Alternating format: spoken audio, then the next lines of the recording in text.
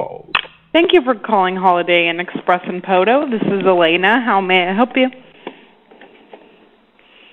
Hi, Good uh, afternoon. yeah, hi. Me and my friend, we're having an early Thanksgiving in our room, uh, and we're going to deep fry this turkey. How much gasoline goes into this deep fryer?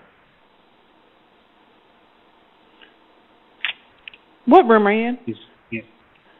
We're in 215. I got about five gallons. Should that do it? Is it diesel or is that kerosene you got? Oh, um, it's turbo. Di- it's it's that like green. Oh, pump. biodiesel. The oh. biodiesel, yeah. Oh, yeah. They said that makes it extra crispy and tasty. Mm-hmm.